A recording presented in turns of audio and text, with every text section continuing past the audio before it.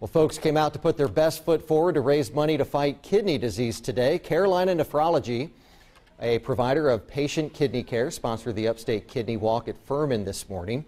The walk was open to everyone to help raise money and awareness.